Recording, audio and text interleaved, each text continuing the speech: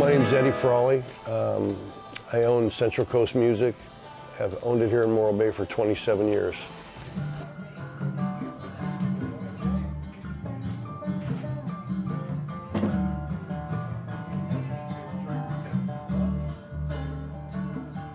My folks had moved up here while I was in the service in about 1978, and I was stationed in a little town in Idaho, and I fell in love with the small town.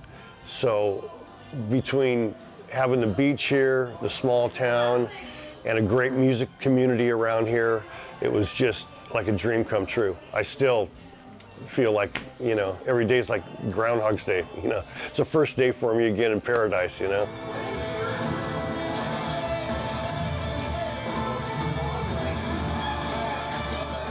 I love people to death and I love music.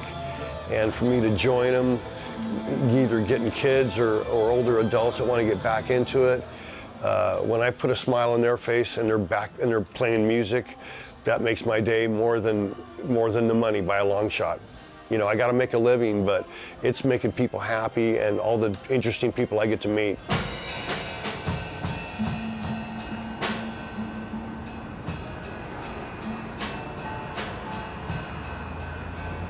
My name is Terry Brown. I'm from Los Osos, California.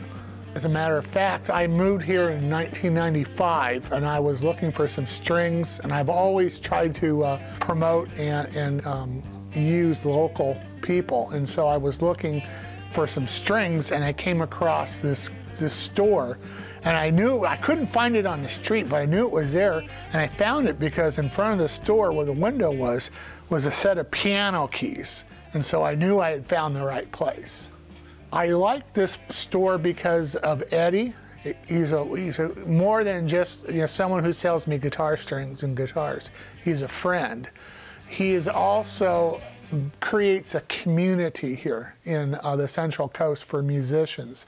It makes it very comfortable and easy for us to uh, express ourselves musically. I just I love I love Eddie to death because you would not find a better supporter of you and your music than Eddie in the store and the people who are in here. Butch, who is the only person who will ever work on my guitars. He has supported the community. He supported all three churches I've been associated with up here.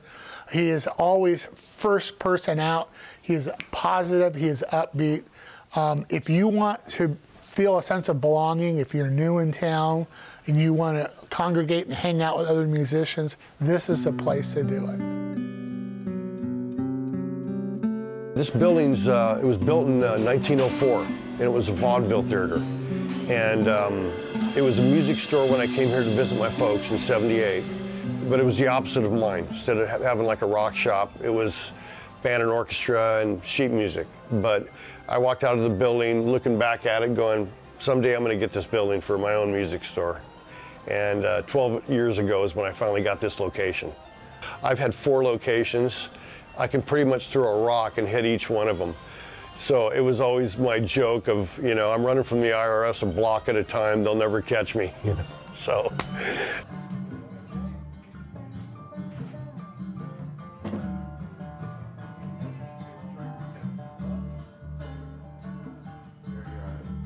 My name is Butch McMahon. I'm guitar tech at Central Coast Music.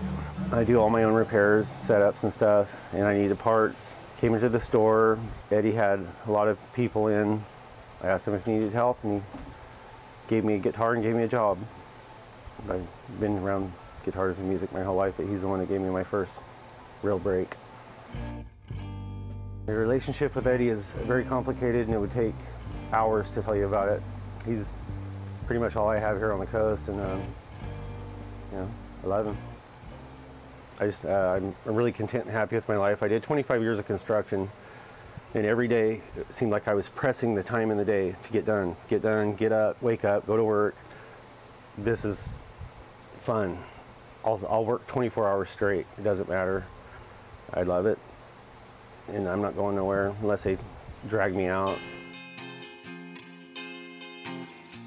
I wouldn't mind having one of my kids come in and uh, you know and take over for me. But I'd I'd want them to really be passionately wanting to do it because you don't just do this kind of because it's your job. You got to really love it.